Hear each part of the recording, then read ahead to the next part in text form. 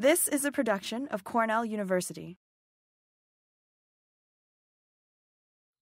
Thanks so much, Nina. And it really is a pleasure and an honor to be addressing my colleagues on this topic, which I've been studying for the past several years. So I'm going to go right into my PowerPoint. And in this talk, I would like to address what is now well known both about the physical and psychological and physiological benefits of time in nature.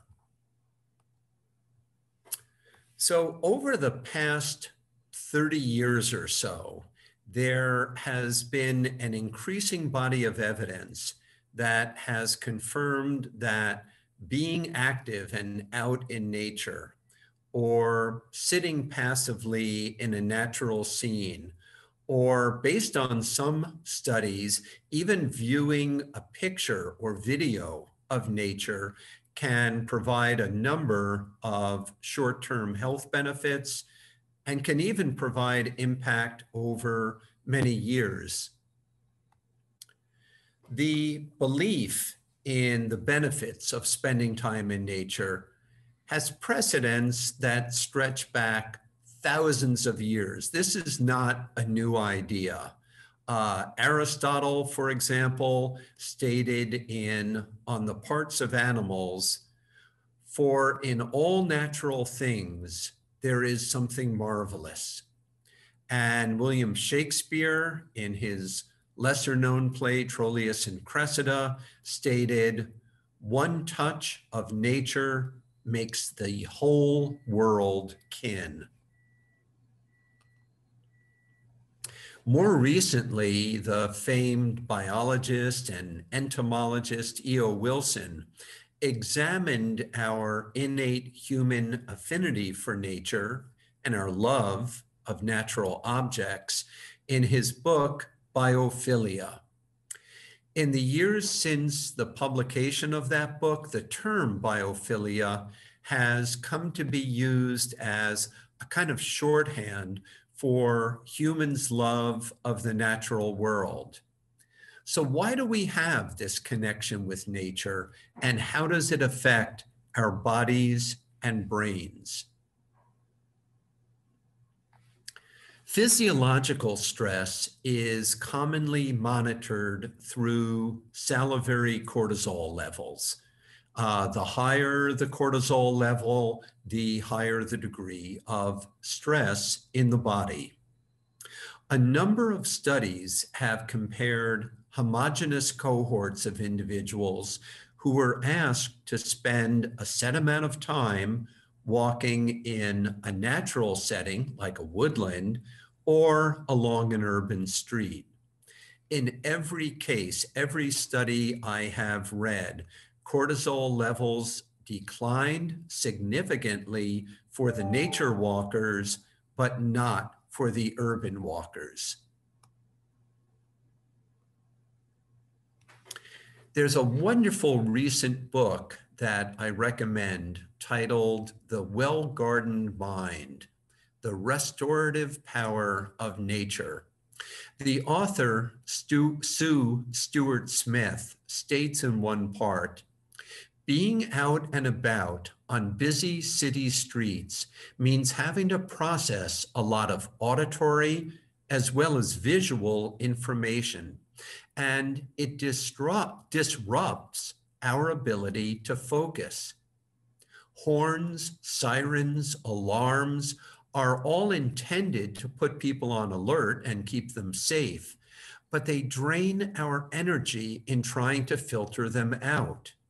Navigating a tide of people on a busy street, pedestrian street is exhausting at the best of times. Everyone is going at a different pace, and both our physical and mental space is under threat in different ways in the city environment. Well, what Sue Stuart Smith is describing in that passage is something called attention restoration theory, which was first advanced by the two people you see here, Stephen and Rachel Kaplan, back in 1995. It focuses on the amount of time each of us spend in directed attention. Not only making our way along urban streets, but also staring at computer screens, as we are all doing right now, engaging in conversation, attending classes, reading books, or writing grant proposals. As a result of prolonged con concentration, an individual may show pronounced signs of attention fatigue.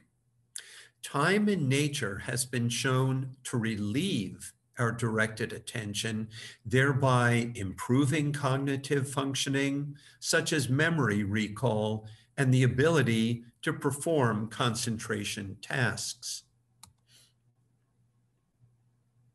An alternate theory was first proposed by this individual, Roger Ulrich, in 1991 and it is referred to as stress recovery theory. This theory takes an evolutionary approach and posits that our sympathetic nervous system is conditioned to respond to threats by increasing stress hormones and preparing us for fight or flight.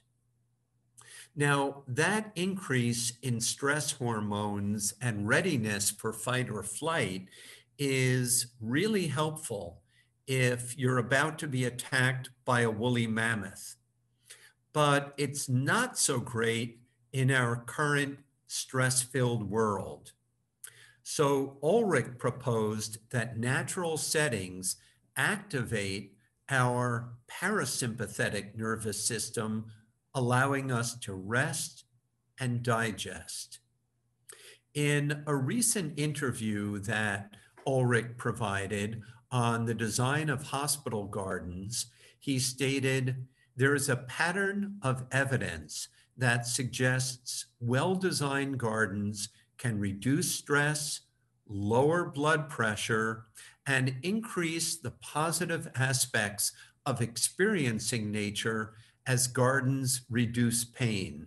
Nature seems to reduce pain by blocking stress and allowing patients to recover themselves and reduce their discomfort.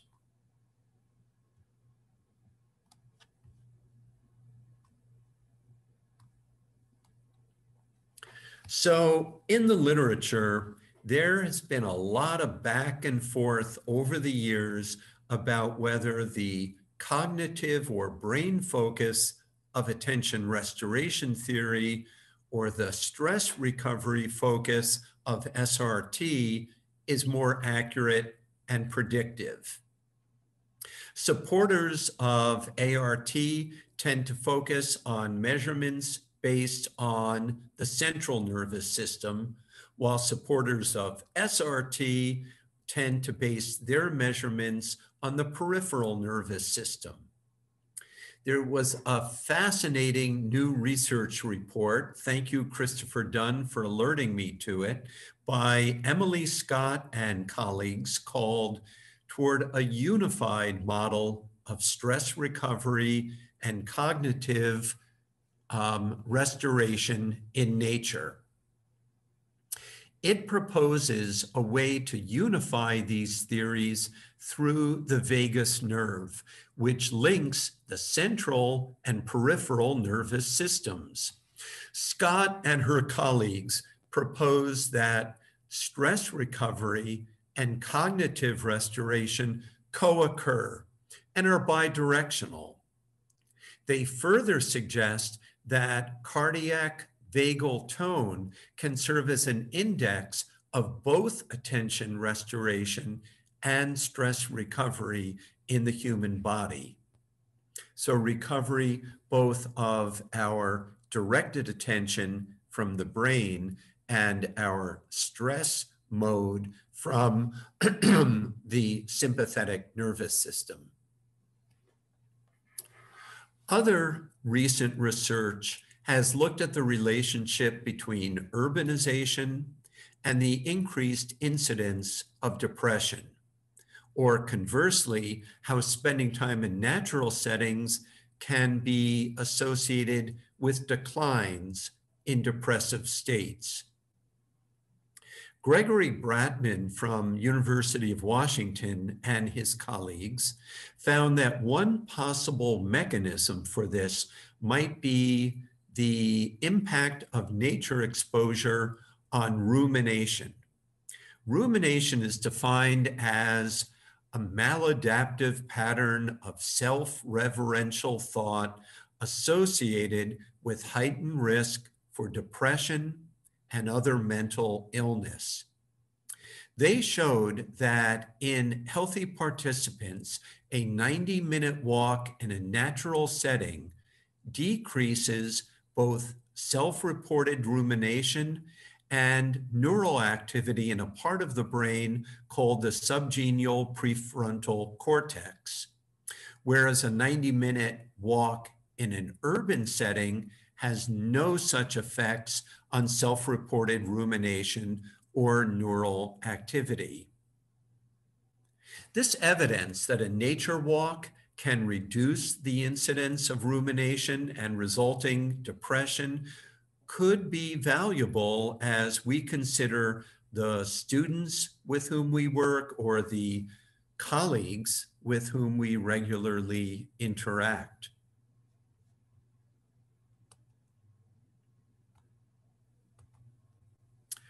Other studies have looked at the relationship between exposure to nature and sleep patterns. In one study, based on a large national survey of adults, the researchers found that those individuals that have little exposure to natural settings had a much higher incidence of um, insufficient sleep patterns, especially among men over 65. So this could be re, uh, due to either reduced stress levels or increased exercise in those frequently going out in nature or some combination of the two. I have frankly been both impressed and somewhat skeptical of studies that have found that time in nature or living in greener locations can positively impact individuals' lifespans.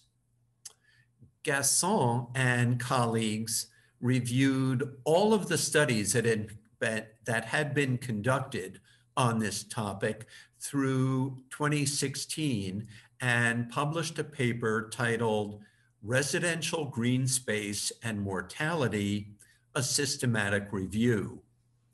Of the 12 studies that fit their criteria, they found that the majority of results showed a reduction in the risk of mortality because of a reduction in cardiovascular disease for residents in the high in the areas with the highest residential greenness.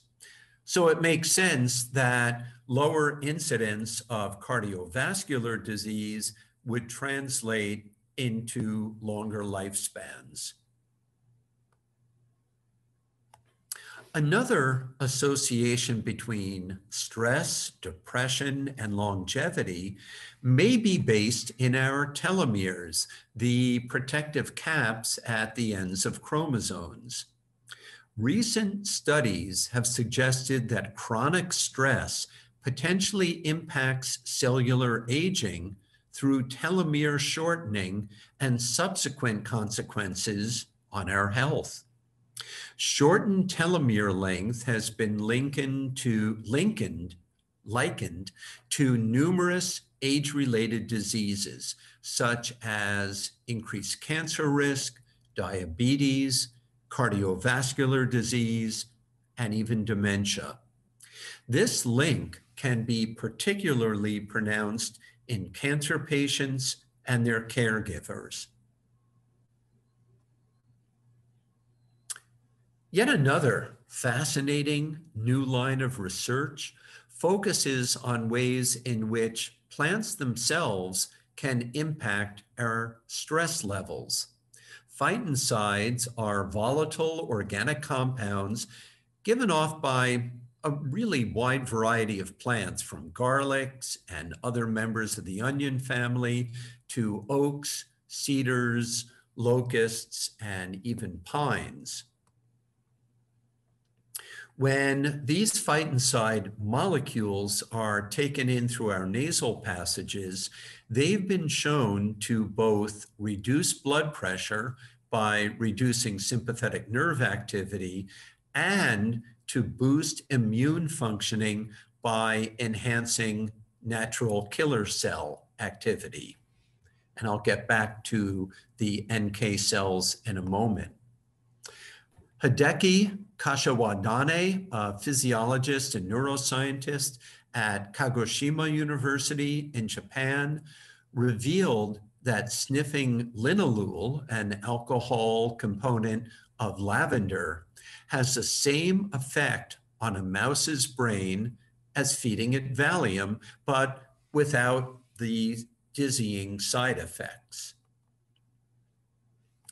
A researcher who I greatly admire at the University of Chicago, Frances Kuo, has focused on the role of these natural killer or NK cells on the physiological and biological mechanisms underlying the benefits of time in nature.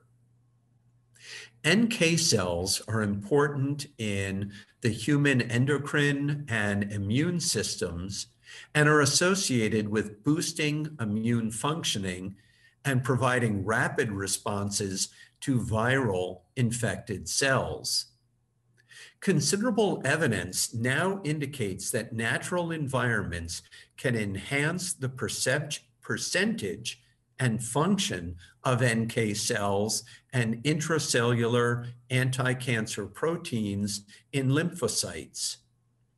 In two Japanese experiments, a three day trip to a forested setting resulted in increased NK cell activity and the expression of anti cancer proteins in both males and females. And for the female subjects, those effects lasted at least seven days after that trip in the forest. Even ordinary soils can benefit humans in ways that have been revealed over the past 20 years.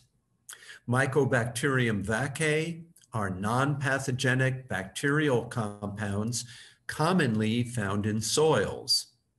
When introduced to mice, they stimulated a group of neurons, which in turn increased levels of serotonin, which, as we know, are associated with feelings of well being and happiness, and simultaneously decreased levels of anxiety.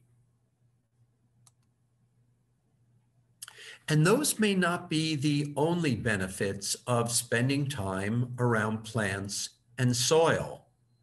During the Second World War, Finland was forced to cede a large swath of territory known as Karelia to the Soviet Union. And you see that here.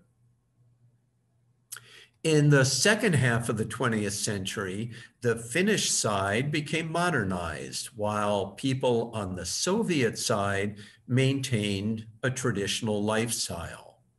And by the 21st century, according to a study carried out by researchers at the University of Helsinki, the prevalence of allergies on Finland's side of the border region was significantly higher than those people living on the Russian side.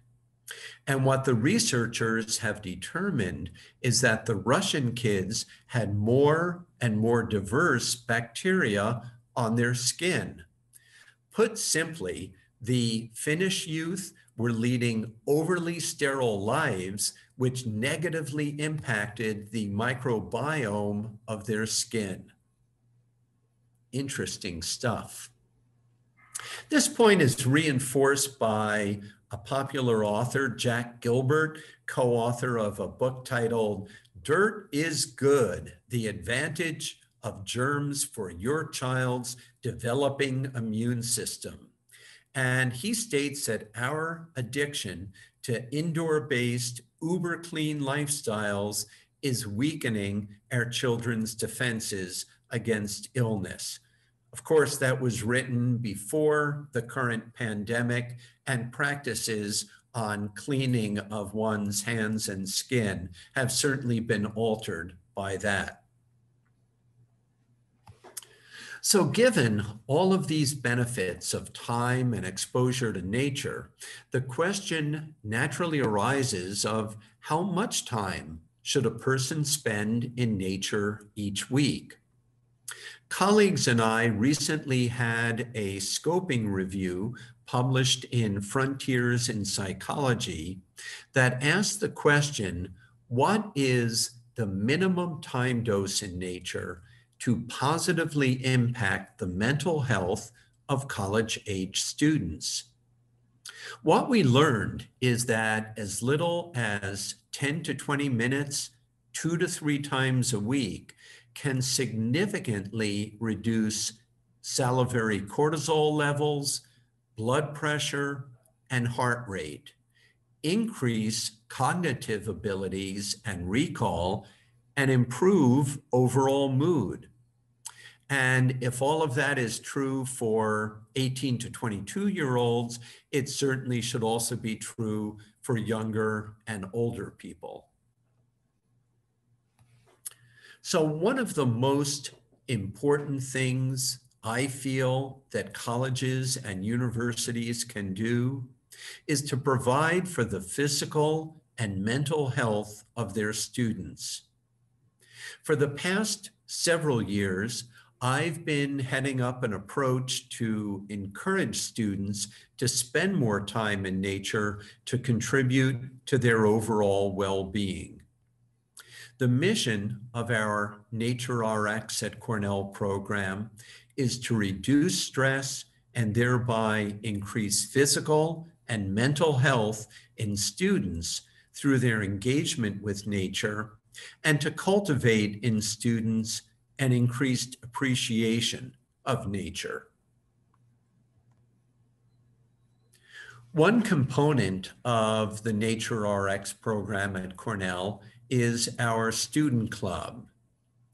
When we're not in a pandemic, members of this club organize things like weekly nature walks, natural area cleanups, invasive plant, plant removals, geocaching contests, trips to nearby or regional natural wonders, or indoor events such as herbal tea tastings.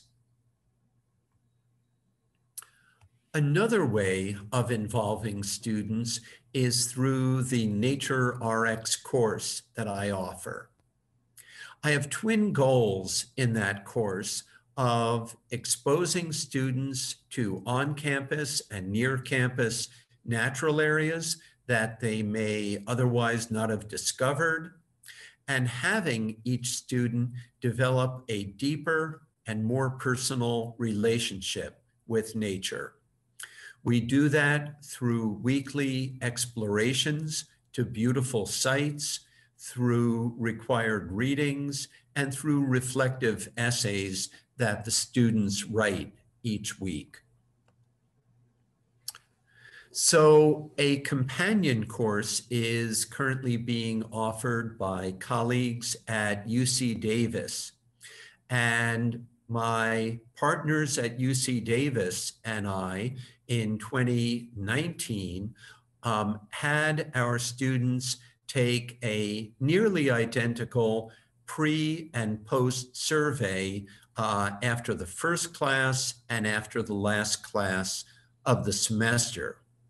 And what we were able to ascertain from those surveys is as a result of these classes, the students felt more comfortable in nature, um, more likely to go out in nature if they were extra stressed or anxious, and to recommend time in nature to their friends. So, in the course of a semester, nearly every member of the student body winds up at the campus, campus health facility. Uh, this, of course, is not a typical year, so um, the Cornell Health Clinic is generally not open. But in a typical year, many of the students who arrive at Cornell Health are suffering from stress, anxiety, depression, sleep deprivation, physical cutting, obesity, inactivity, or social isolation.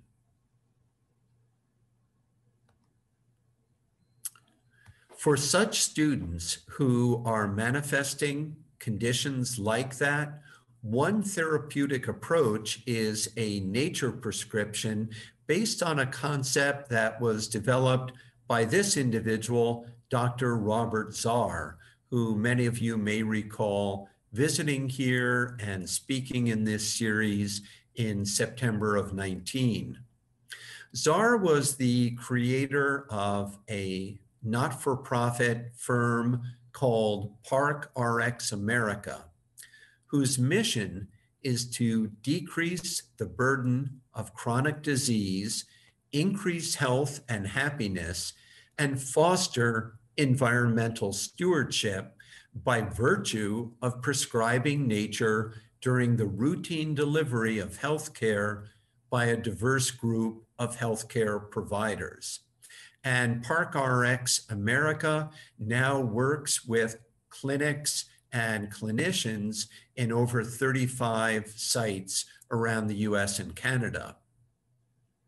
So, for clients who are dealing with mental or physical issues, prescribing time in nature may be of real benefit as part of a total therapy program. Initially, Cornell healthcare providers were handing out paper nature prescriptions to students um, that said, please go out in nature, time in nature is very beneficial to you and recommended a few sites that they could go. But prescribing time in nature is now included as part of a student's electronic health record. As you can see here, Nature RX discussed and recommended.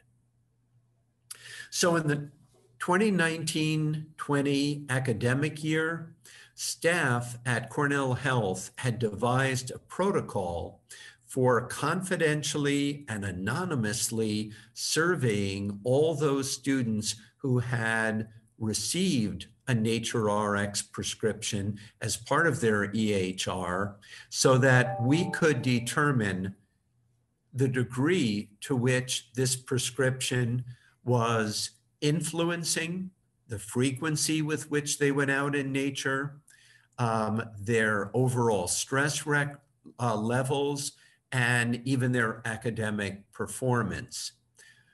Unfortunately, when the pandemic hit, all of this had to be put on hold. So we are hoping to resume this type of surveying this uh, fall, coming fall semester. Yet another component of the Nature RX program is this responsive website, naturerx.cornell.edu. In it, we provide photos, descriptors, and GPS based directions to 15 natural and horticultural sites around campus, most of which are managed by Cornell Botanic Gardens. Through their use of this site, we hope that students will come to recognize that nature is nearby and doesn't require a large block of time to go out and explore. Nature, especially on a campus like Cornell's, is all around us. To further broadcast messages about the value of time in nature to all students at Cornell, the Cornell Health Communications team has developed a series of e-posters for media walls around campus, like the foyer in the plant science building on the first floor. And these posters say things like, did you know that time spent in nature can help improve your exam scores? Did you know that time in nature can improve your sleep patterns, can improve your social life, can reduce overall stress levels. And for each of these posters, um, you can't see the fine print, but we do cite studies that have verified this benefit. I'm also the co author, as Nina mentioned, with the late Dr. Greg Eells of the text Nature RX Improving College Student Mental Health that was published by Cornell University Press in 2019. In it, we go in depth into the mental health crisis that currently exists on American campuses and which has only been exacerbated by the coronavirus pandemic. We discuss the proven benefits of spending time in nature. We provide a stepwise guide to developing a Nature RX program and profile four campuses, including Cornell, that have developed Nature RX initiatives. We end the book by considering ways in which Nature RX programs will figure into the future of the American University. For the past couple of years, we've also developed a nationwide campus Nature RX network, which currently includes 25 campuses across the US, some very large, like Yale or UC Davis, others quite small. The network put on a day long symposium this past October, sponsored by Cornell and Vice President Ryan Lombardi, and has recently organized a steering committee and six working groups to address communications, teaching, campus projects, research, anti racism, and the annual symposium. To conclude, spending time in nature should never be seen as a cure all for all human maladies, but it can be integrated into therapeutic approaches to contribute to overall well being for people of all ages. So, thank you. And at this point, I would be happy to answer questions from anyone. Thank you, Don. That was great. Oh, as always, very interesting things that I'm sure none of us really knew about. But uh, are there any questions for Don? Don, this is Marvin. Uh, so there are urban campuses uh, and then there are fairly rural campuses, or there are campuses that focus a lot on outdoor activity like Hamilton universities. Have there been studies done where they've sort of matched cohorts, you know, and compared student stress levels on those more rural campuses focused on outdoor activities versus those that are very much in the middle of an urban center?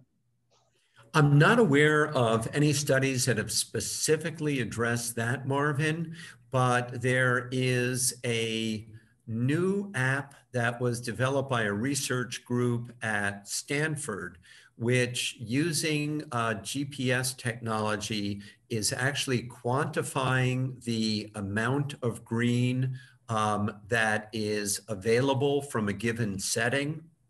And one of the points that we make in the Nature RX book is that typically very urban campuses like NYU or University of Chicago will borrow nearby parks um, as settings where Nature RX programs can be conducted.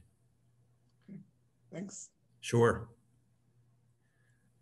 Um, Christopher Dunn asks, how does forest bathing relate to the points that I've been presenting? So forest bathing or shinrin yoku uh, is a Japanese technique that provides opportunities for people to have intense and intimate experiences in primarily woodland settings.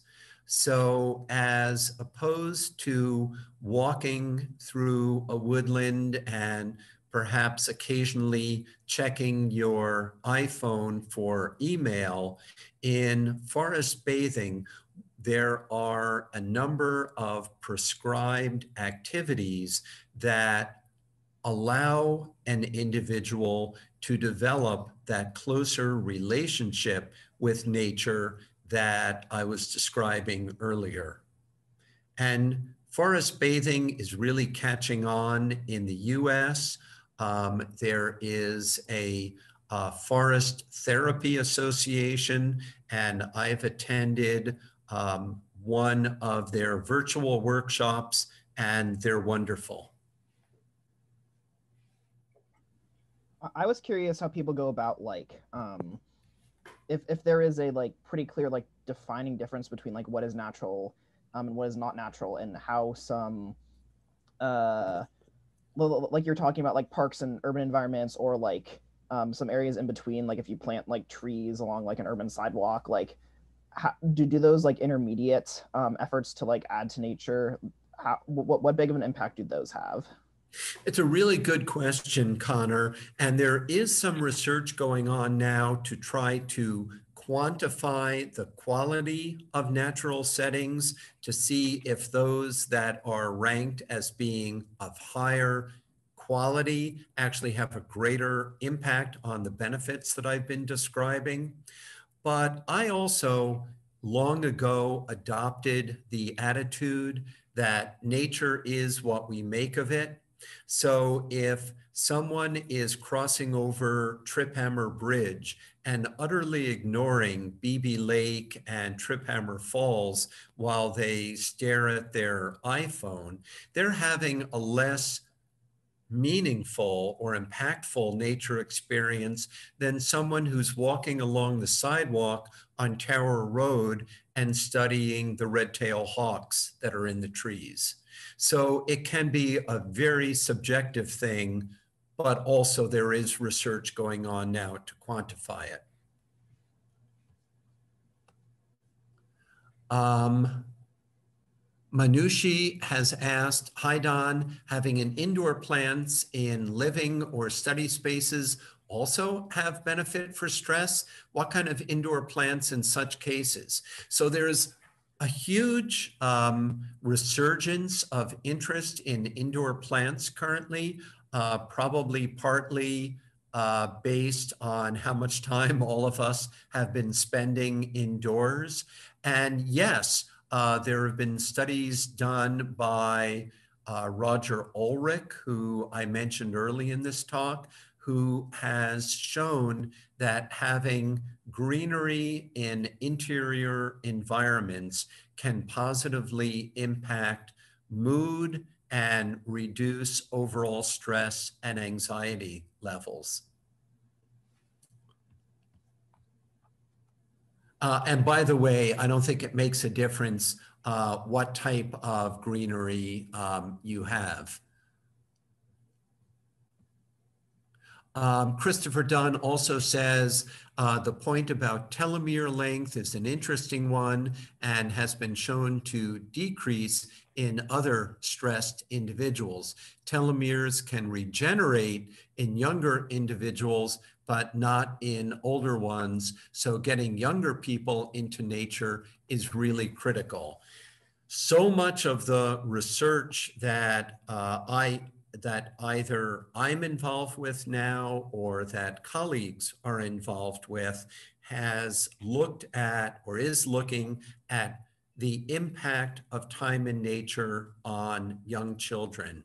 I've just read a fabulous review by Louise Chawla at the University of Colorado, who studied young people's attitudes about nature and did that by conducting a scoping review of many, many previous papers.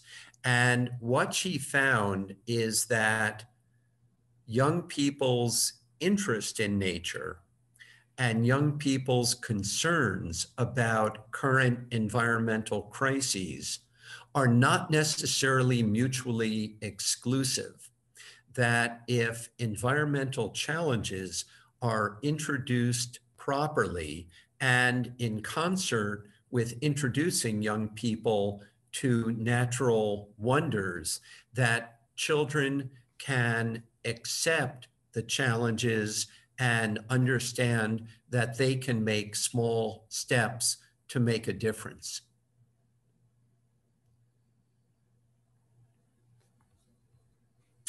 Well, if there are no further questions. I uh, actually have one. Uh, My name is Okay. Marla Whitman. I work with the New York State Integrated Pest Management Program, and we have been doing a lot of education around tick risk. And we hear a lot that people have rising anxiety about getting bitten by a tick. And that's one of the things that we're trying to counter that you can keep yourself safe while still enjoying going outdoors. I wonder if you've seen any indications of that within your studies, or if you feel like it's something that might need to be addressed as the condition gets worse. I have not seen any specific studies that relate to the fear of ticks, although I agree with you, Joellen, that um, dressing properly and checking one's body after uh, a time in nature um, can largely mitigate against uh, the risk of tick bites. I have seen several studies that specifically address fear in nature or fear of nature.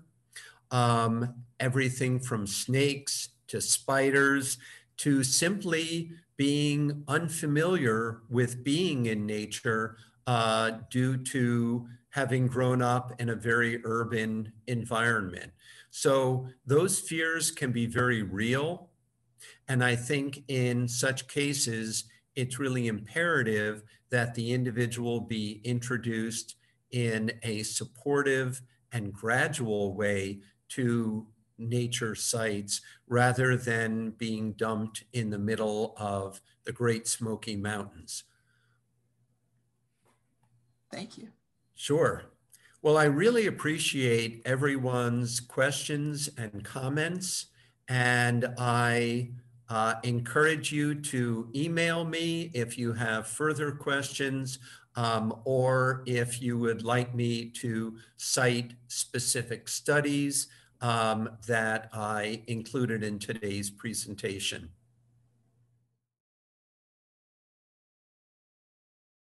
This has been a production of Cornell University on the web at cornell.edu.